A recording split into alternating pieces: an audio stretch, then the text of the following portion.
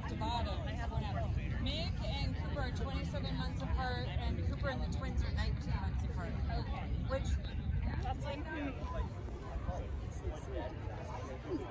Ring it up, we'll get it in sins, and then we can celebrate.